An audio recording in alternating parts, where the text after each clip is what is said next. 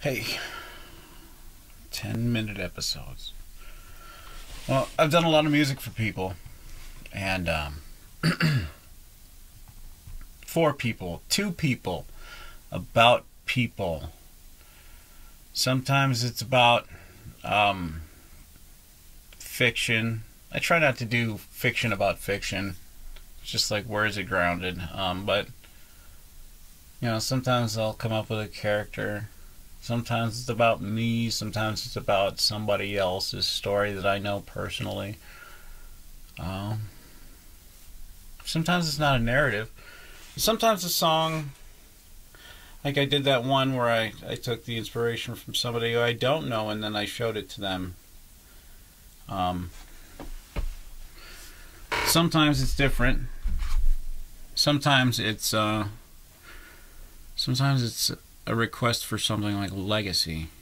Um, one of my friends asked me to do this song. He uh, he was suffering from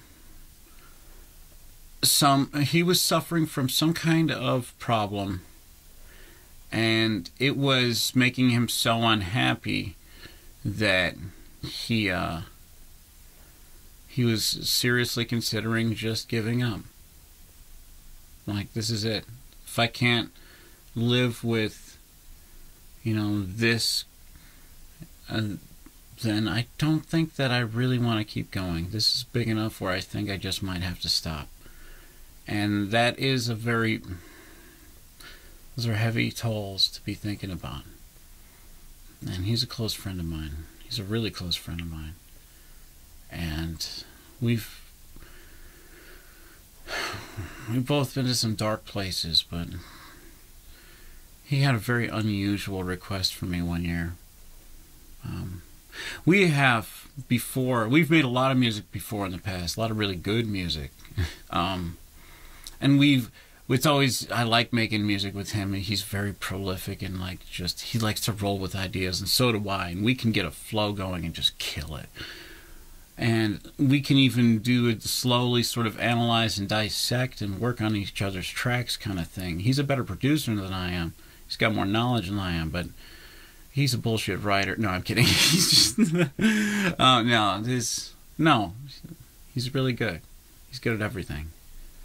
Um, and he likes music and he's great. And fart. Fuck you rabbi. You're getting too sappy. The song very unusual and painful sort of request, which I don't know why. Maybe I'm, I'm it, it is so significant to me because it was such a hard thing to do. Um,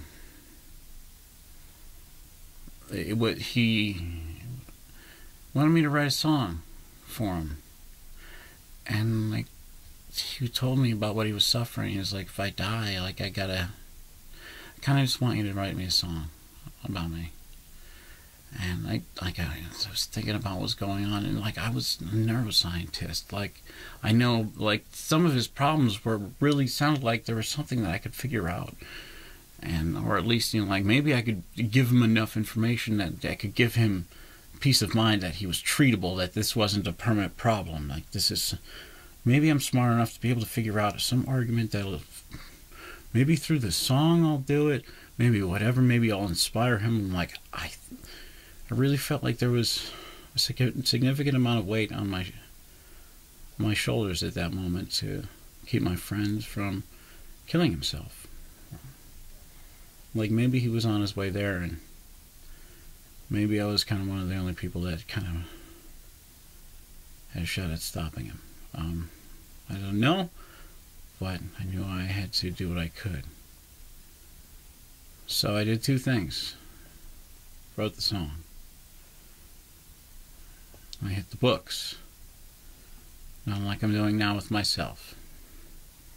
Because I should actually I haven't been doing it by, on myself because I think it's stupid to do it when you're not like a clinically trained doctor about how to do diagnostics. If you just have the books, it's not quite the same thing. Like I own the DSMs, but I also learned how to use them or how to use the DSM, and it's not as obvious as just cracking open a book and looking for symptoms. Like you have to understand the process and what makes it, you know, rigorous and you know.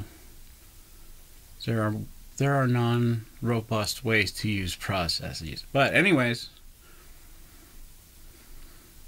I was able to figure out a couple of unique things from the symptoms he described to me that narrowed it down, and I was able to convince him that I, well, I may have identified exactly what it was, and that, that it wasn't anywhere near as big of a problem as he thought it was.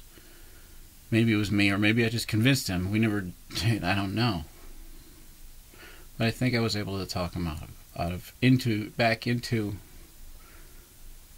into cooling off and not not thinking about the suicide thing anymore. He's still alive. As of this recording. You got fucking you piece of shit. And you, Rabbi, you're a piece of shit too. You guys are, are the best pieces of shit to make music together ever in the world. Fucking losers.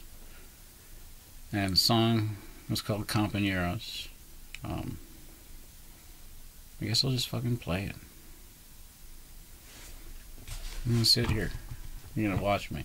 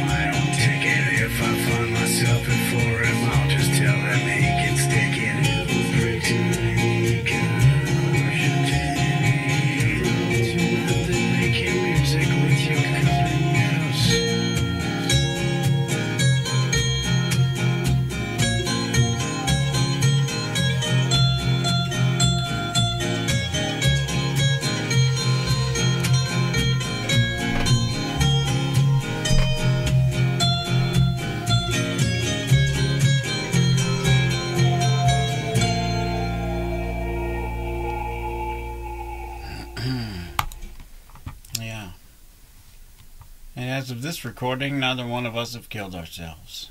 And that's. That's pretty cool. Fuck you. Bye.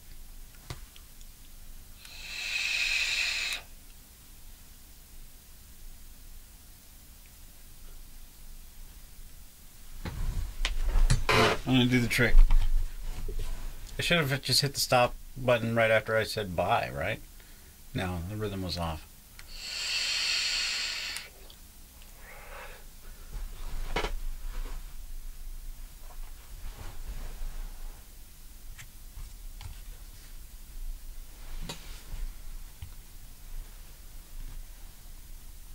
Fuck you.